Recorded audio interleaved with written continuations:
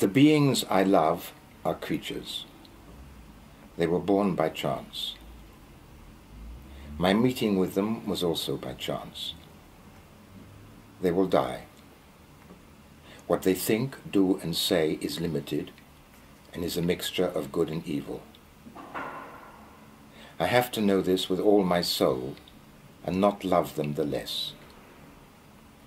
I have to imitate God, who infinitely loves finite things, in that they are finite things.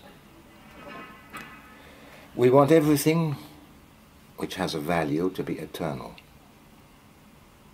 Now, everything which has a value is the product of a meeting.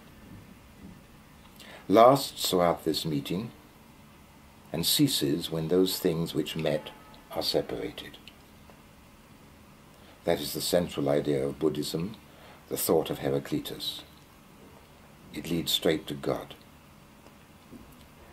Meditations on chance, which led to the meeting of my father and mother, is even more salutary than meditation on death. Is there a single thing in me of which the origin is not to be found in that meeting?